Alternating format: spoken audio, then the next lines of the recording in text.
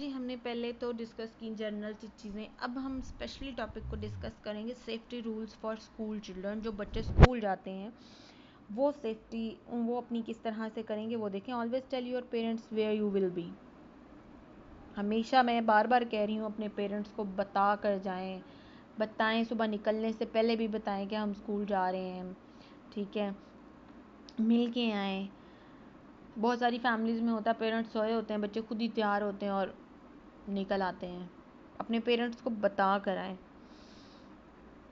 Travel in groups और with a buddy there is a safety in numbers groups में हमेशा सफ़र करें, बहुत सारे लोगों के साथ रहें, मिलकर चलें और बड़ी बड़ी मीन के आप लोग जो है वो दो लोग साथ रहें।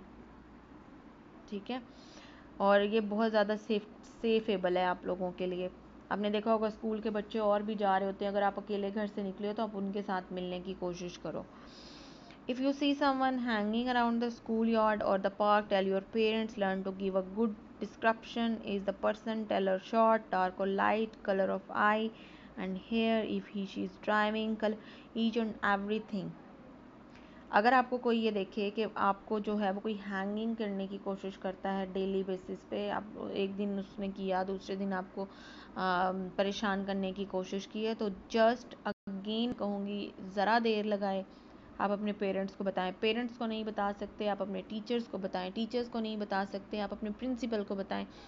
तो उसको, उनको पूरी डिस्ट्रक्शन दें उस बंदे की कि वो कैसा दिखाई देता है, वो क्या है तो नेक्स्ट वो क्या स्टेप लेंगी वो?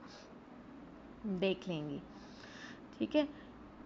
कभी भी do not dark travel in dark and lonely areas कभी भी अकेले रास्तों पर जो अगर आप स्कूल आते हो तो बहुत सारे रास्ते होंगे, गलियाँ होंगी तो अकेले जो है वो कभी भी सुनसान सी गली में से सफ़र मत करें, मत गुजरें।